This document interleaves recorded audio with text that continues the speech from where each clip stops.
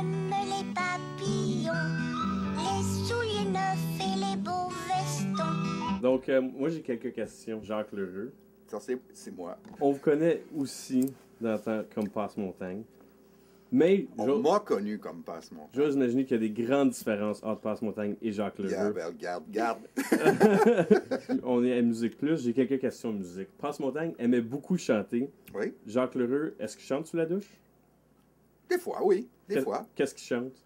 Je sais pas, du Beatles, du Simon and Garfunkel, de- des, des Stones, euh, du, euh, des, des- des- du, du Louis Armstrong, euh, du, je sais pas. I see eyes of blue. ah. Je sais pas, j'ai oublié les paroles. Ah.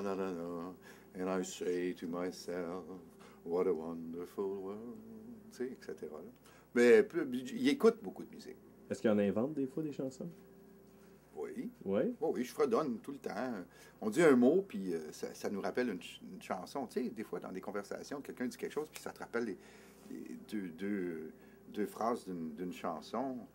Puis euh, on fredonne. Des fois, on invente des bouts. Oh oui, certainement. C'est très important, euh, la musique, euh, dans ma vie.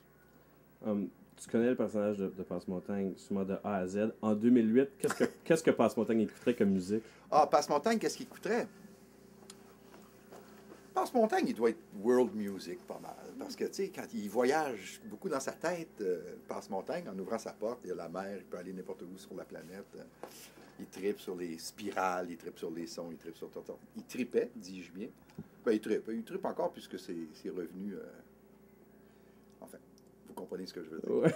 Donc, euh, ouais, il dit beaucoup de world music probablement, des blends, des fusions de jazz avec des musiques, euh, des musiques de des musiques de, de pays émergents, la- l'Afrique, la- l'Asie, euh, des affaires euh, intéressantes là, mais euh, mais mais mais écrites et construites très.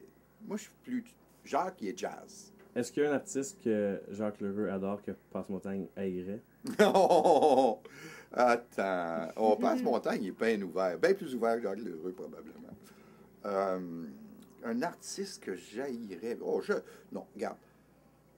Euh, Il y a des choses qui ne sont pas ma tasse de thé, si vous voyez ce que je veux dire, OK? Mais jamais je dirais que j'haïs quelque chose. Tu comprends? Je dirais, c'est pas ma tasse de thé. Ça, c'est être diplomate. Tu comprends? Ah, t'écoutes quelque chose. C'est bien mauvais. Non, tu dis, c'est pas ma tasse de thé. Hein? Bien plus beau. Finalement, si tu me permets, j'ai un petit quiz pour toi.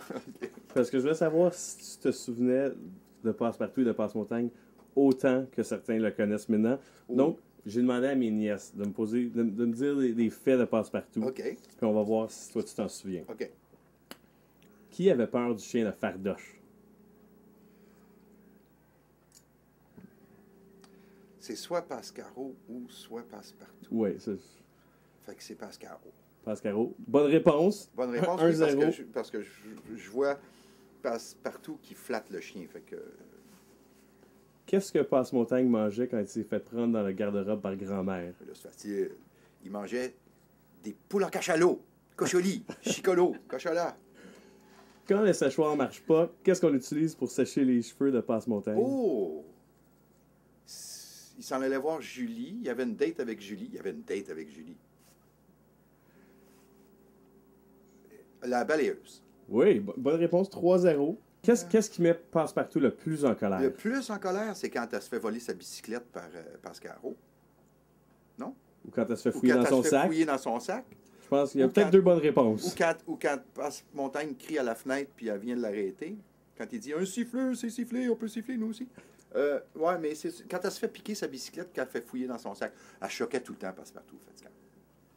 Et, et finalement, quand Passe-Montagne se retrouve dans une, Bon, cage à, ca- dans une cage à poules, qu'est-ce qu'il aimerait mieux être? C'est pas un ours.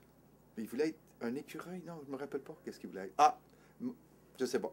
On a réussi le test, fantastique. C'est quoi? Qu'est-ce qu'il voulait être? C'était bel et bien un ours, en Un fait. ours, un Ouais. ours, c'est ça. Ah, regarde, j'ai eu presque Ouais. toutes les bonnes 5 réponses. sur 5. 5 sur 5, excellent. Yay! Qu'est-ce que je euh, gagne? Une présence à MP6. Ah, OK. On vous donne le droit de descendre en bas au Puis- studio. puis- puis je gagne une plug. Il y a 5 DVD de 5 10 chaque. Si tu multiplies 5 fois 25, ça fait combien? 125. Excellent! Il y a 125 épisodes de Passepartout sur 5 coffrets de 5 disques, le jaune, le bleu, le rouge, le vert et le mauve. Achetez-les maintenant. Merci beaucoup. Non, non, mais amusez-vous à les regarder, surtout pour vos enfants. Vous autres, là, qui ont 30 ans, get a life! Merci. Pascal recule, but saute et tourne en rond. Où est passe-partout?